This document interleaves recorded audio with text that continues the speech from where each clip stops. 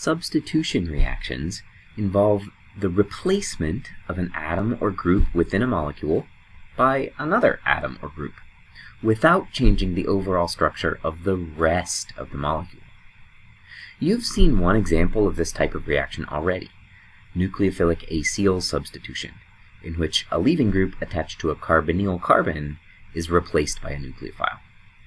This reaction is an example of substitution at sp2 carbon.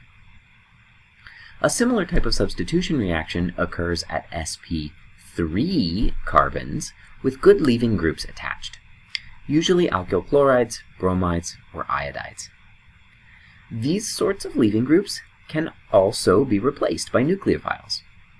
But the way this happens, the mechanism, is necessarily different from nucleophilic acyl substitution because these sp3 alkyl halides don't have pi star CO orbitals for nucleophiles to attack.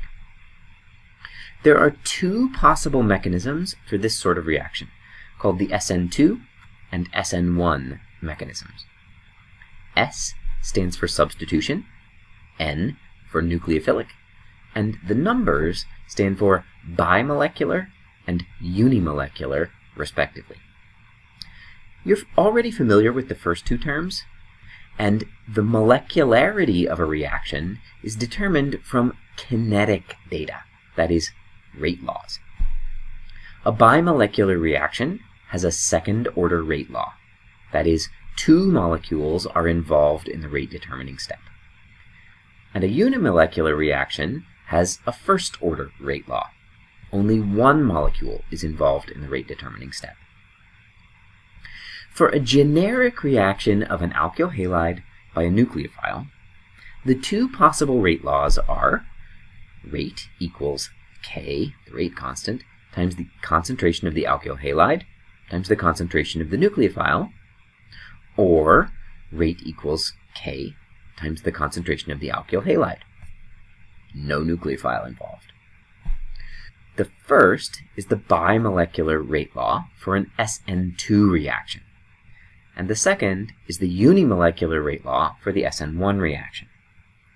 These two reactions proceed by different mechanisms.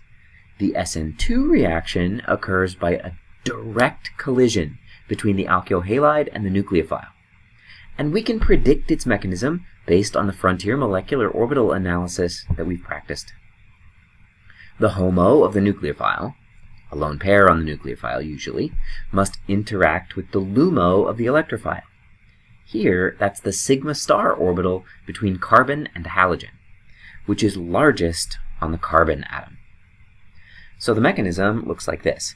The nucleophile attacks carbon, putting electrons into the antibonding orbital between carbon and the leaving group. So the bond between carbon and the leaving group breaks.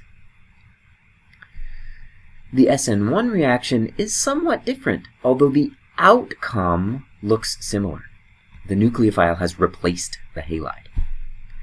But the rate law for this reaction doesn't involve the nucleophile.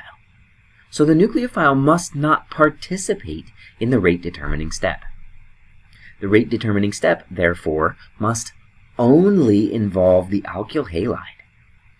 To understand this step, we need to remember that molecules are constantly in motion. They're spinning, tumbling, freewheeling, shaking and pulsing, and their bonds are constantly vibrating.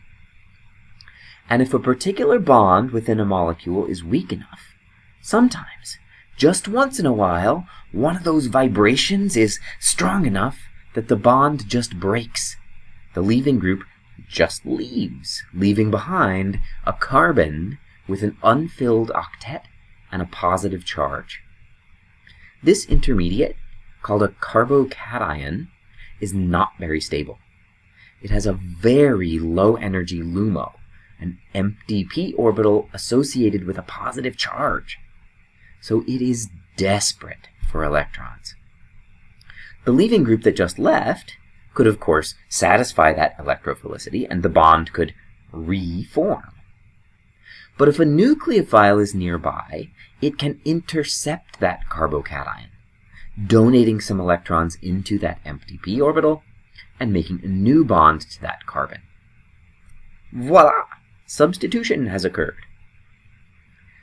These are the two most common mechanisms by which substitution reactions sp3 carbons occur.